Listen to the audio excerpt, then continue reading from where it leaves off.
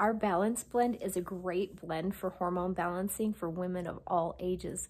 I get amazing feedback with this blend from so many women.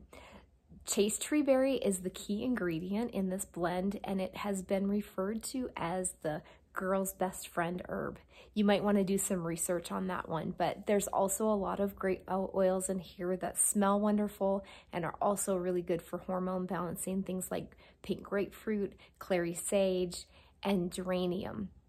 You'll love the smell of this blend. One pump right on the front of your neck where your thyroid is um, every day. You can use it on your face as a facial moisturizer as well if you would like.